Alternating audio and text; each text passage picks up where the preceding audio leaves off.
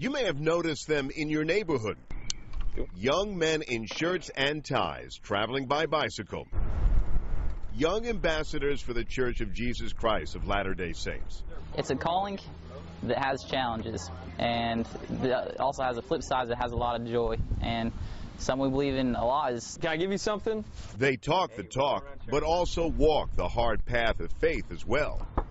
The church deploys 54,000 missionaries around the world.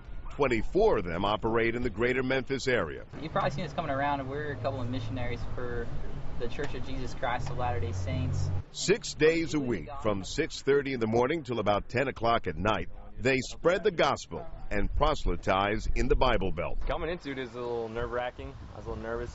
I didn't know the Bible too well, but people are really friendly here. No, it's definitely sometimes a challenge, and it can be scary to see what kind of reaction we get, but it's it's worth it.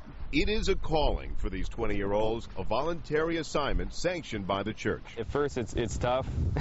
As a high school kid looking into it, you're like, that's not what I want to do. Here, I get to grow a lot. I get to grow in who I am. I get to understand what my purpose is and, and what really brings happiness. Have you heard of the Book of Mormon? Yeah. Yeah? What have you heard about that? The commitment demands time and discipline. They can't read newspapers, watch the news. All media, including the internet, is off limits. Missionaries are only allowed two phone calls home on Mother's Day and Christmas. Do you have any idea of what's going on in the world around you? Not really. Who won the Super Bowl? I don't know who's in it. Missionary work is purely voluntary. In other words, they don't get a stipend. There is no allowance.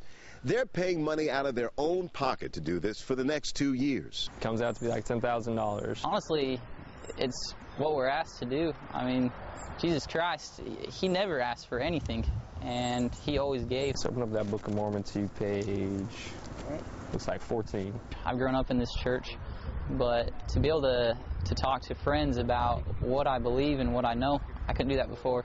And now, now I can. Makes you stand on your own two feet because our parents aren't here with us. You know, we're out here by ourselves, so we got to figure out what is true. It is not a calling for the weak of heart, the doubter of faith. It is for young men and women who believe in the Word and will travel wherever told to spread the message. In Frayser, I'm Greg Coy, Fox 13.